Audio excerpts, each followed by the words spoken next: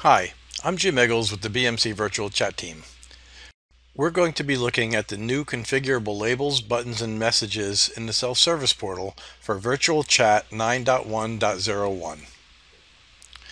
These configurations can be viewed and modified in the Virtual Chat Administration Console. To view these settings, we'll open the self-service portal configuration page. There are many different types of configurations here, as you can see under the section column.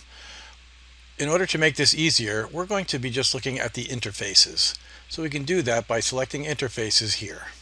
In the resulting table of the interfaces section, we will see the nine different languages that we selected during the installation for Virtual Chat.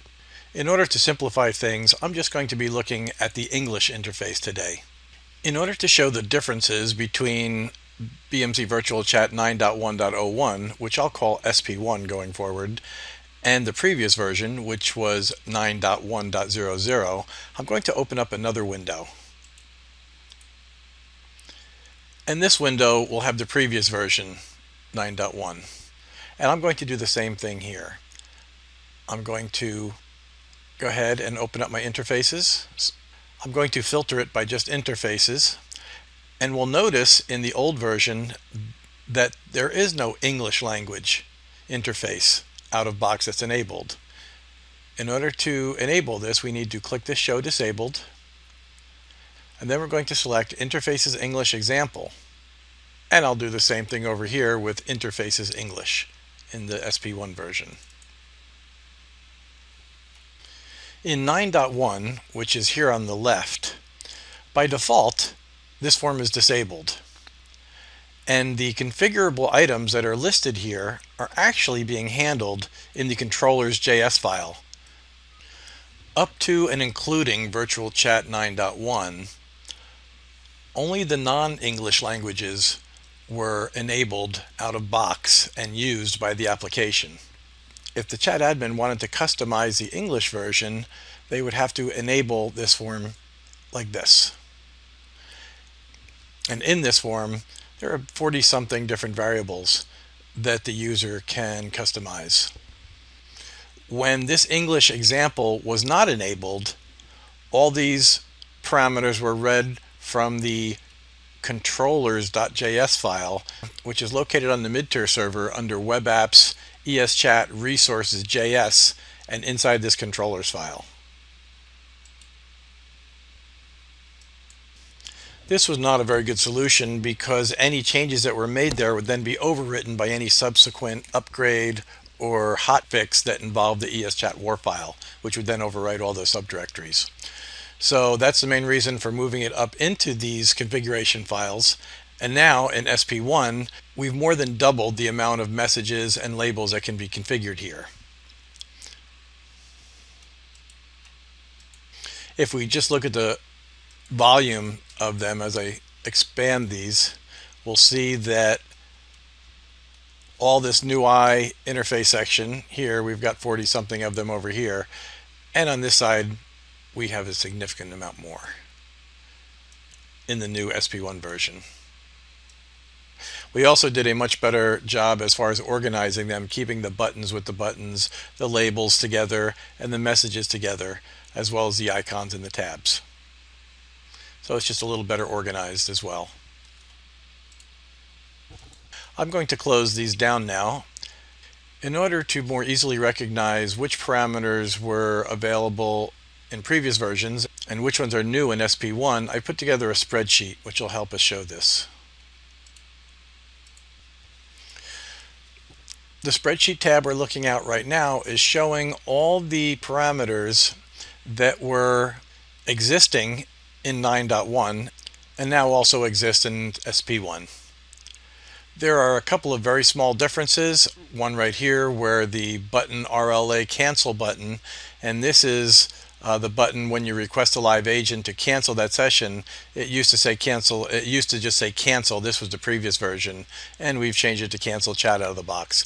But obviously now this is all configurable and a user could change it to anything they want.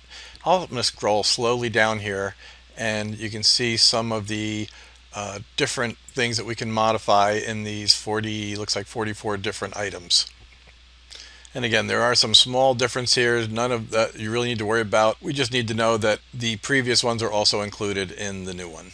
The new items that are now available in SP1 are these. And as we can see, there's a total of 47 of them. So there are several images that we can change now, including the avatar and the header.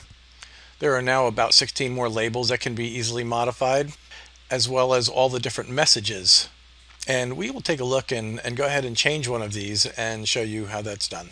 At this point, we're just going to go to our new SP1 version. For those of you already familiar with chat, you may notice that this self-service configuration form looks a little different. For one thing, it's grayed out. Uh, we can't change anything right now. If we try to, we get this warning that says we strongly recommend only making changes in an overlay. Changes in base configuration will be lost in an upgrade. So this is a new change for SP1 that allows us to do overlays on the fly when we're making these configuration changes and configuration changes in the interfaces is a fairly common change because that's where people will do their branding and customizing of the interface. So let's go ahead and change one of our new items and to do this we'll open up a, a user with a chat who's going to log in and one of our new items, uh, we'll pick one, would be the open items message. So we're going to go find that one and it's called message no chat items. And it basically just tells us if we go there that we have no open chat. So we're going to go to our open items icon and we see that we have no open chats. If we wanted to make a change to this, we could do that. And we're just going to make a slight change.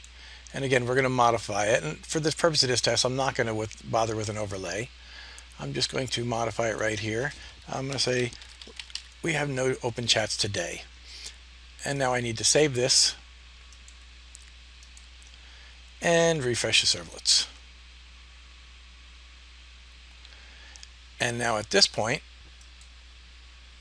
I should be able to reload this page and when we go to that item we'll see that that change has taken effect. So that's going to be the case for all these different little items uh, along here now where we can change the label, uh, we can change the buttons, uh, and we can change the messages. And that's how we do it. Now we've been looking at the English interface, but the same goes for uh, the other language interfaces as well.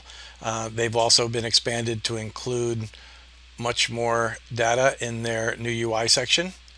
Um, and it pretty much has the same parameters except that they are already translated. And then these are used when localization is involved and we're translating these various messages and uh, buttons and labels and things like that. So those are the new configurable items in the self-service portal that we make from the chat administration console and will make branding much easier as well as maintaining the data in our upgrades much easier as well. Thanks for watching.